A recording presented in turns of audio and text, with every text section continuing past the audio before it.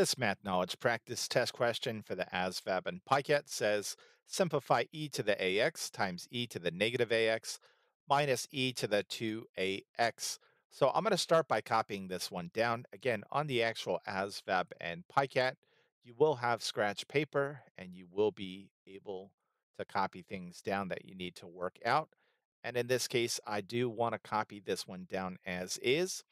Next, I want to point out that we have multiplication here and subtraction here.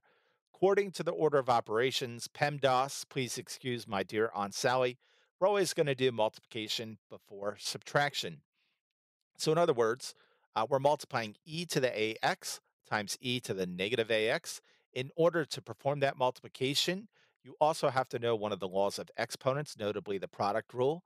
The product rule says if you have a to the m times a to the n, that's equal to a to the m plus n. That is to say, you add their exponents. And in this case right here, we have e to the ax times e to the negative ax. According to the product rule, this is going to become e to the ax plus negative ax. Uh, this is the same thing as ax minus ax, which is 0. So this is e to the 0.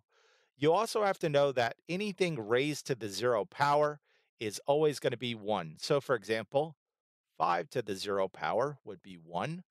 100 to the 0 power is going to be 1. And likewise, e to the 0 power is 1. So we can replace e to the ax times e to the negative ax with simply 1 minus e to the 2ax. We can't simplify this expression any further, so that is our answer. We can see it's C, 1 minus e to the 2ax.